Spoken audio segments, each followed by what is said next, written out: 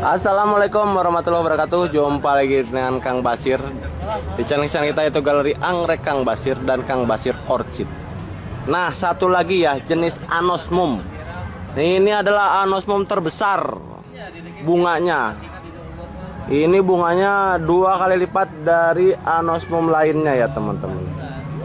Nah makanya dinamain gigantea. Nah gigantea itu kayaknya sih kata lain dari besar atau kalau di Jepang tuh giant gitu kan. Nah, gigantea. Nah, kenapa disebut gigantea? Ya karena ini adalah jenis anggrek anosmum, dendrobium anosmum yang bunganya besar.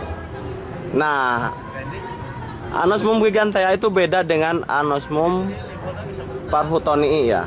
Nah, Anosmum gigantea itu berbunga dengan cara menggugurkan batangnya, menggugurkan daunnya dari batangnya. Tuh, ini batangnya gundul semua teman-teman, gundul semua. Batangnya gundul semua dan ini batangnya kurang lebih panjangnya satu setengah meter hingga 2 meter. Nah, ini baru bertunas di sini teman-teman.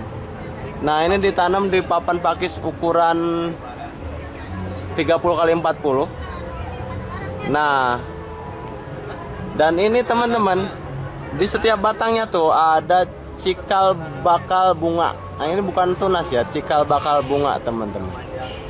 Nah, ini cikal bakal bunga. Nah, makanya teman-teman uh, Kang Basir sangat menyayangkan ya ada cerita dari teman Kang Basir bahwa si sang suami itu beli anggrek dari kota ya dari kebun anggrek kemudian dibawa ke kampungnya dan rencananya sih untuk anak yang suka. Nah, tapi begitu istrinya ngelihat gundul, nah kebetulan suaminya kerja lagi di kota ya.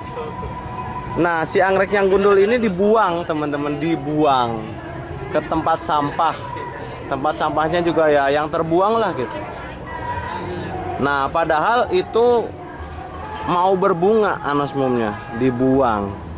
Nah begitu suaminya pulang Ini Nanyain mana? Ah udah mau mati Katanya udah mati udah nggak berdaun. Akhirnya dibuang.